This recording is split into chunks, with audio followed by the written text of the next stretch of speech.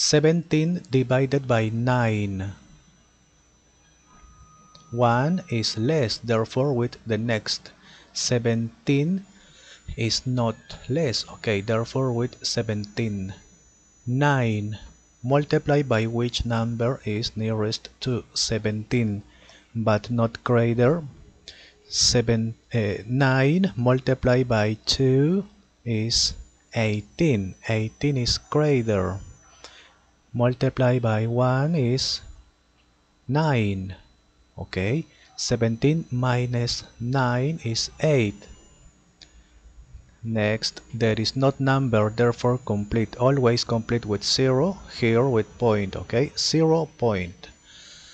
80 9 multiplied by 9 81 is greater. Multiply by 8 is 72 subtract complete always complete with 0 0 point okay? Point is here. 80 multiply by 8 72 subtract complete. Multiply by 8 subtract complete.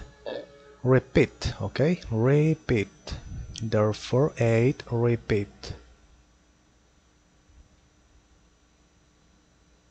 8 repeat therefore like this okay? Repeat. Finish